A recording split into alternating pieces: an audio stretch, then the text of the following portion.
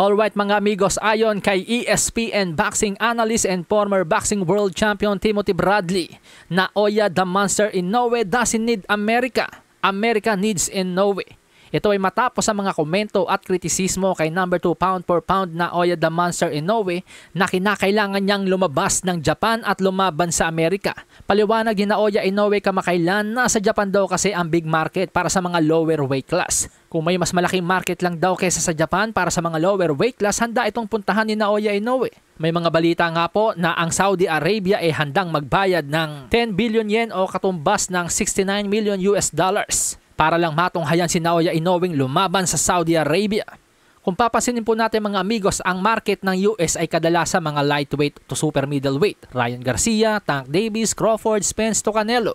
Ang market naman ng Saudi kadalasan ay light heavyweight hanggang heavyweight sina Dimitri Bivol, Arthur Beterbiev, Tyson Fury, Deontay Wilder, Francis Ngannou at Anthony Joshua.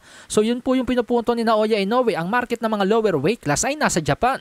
Ngayon ang pinupunto naman ni Tim Bradley na hindi daw kailangan ni Inoue ang Amerika, ang Amerika daw ang may kailangan kay Inoue, masasabi nating totoo po yun. Dahil ayon sa report mga amigos, ang live gate potential revenue ng Naoya Inoue versus Luis Pantera Neri sa Tokyo Dome, Japan ay tinatayang 20 plus million US dollars.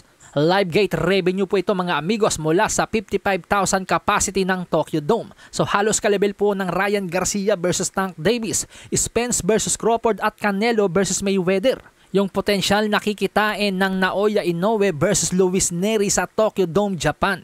Kaya naman kung ilalagay mo ang sarili mo sa sitwasyon ni Naoya Inoue, ikaw ba'y magtatrabaho pa sa ibang bansa? Kung ang kikitain mo doon ay halos kapareho lang din ang kikitain mo dito sa Pilipinas. Natural, hindi na. Kaya nga ang sabi ni Inoue, kung may mas malaking market kesa sa Japan, handa siyang lumaban sa lugar na yon kung saan man yon. Kaya nga po natin mas madalas nakikita ngayon itong sila Tyson Fury, Alexander Usyk, Deontay Wilder, Francis Ngannou sa Saudi Arabia. Eh dahil mas malaki nga po ang market kasi ng heavyweight sa Saudi. Kaya doon madalas lumalaban itong mga ito, hindi sa Amerika. So pareho lang din po yung sa sinasabi ni Naoya Inoue na nasa Japan kasi ang big market ng lower weight class. Kaya sa Japan naman madalas ang laban niya. Kaya hanggat hindi kayang higitan ng Amerika yung kikitain ni Inoue sa Japan, ang mga Amerikano ang kailangang pumunta ng Japan kung gusto nilang mapanood si Naoya Inoue.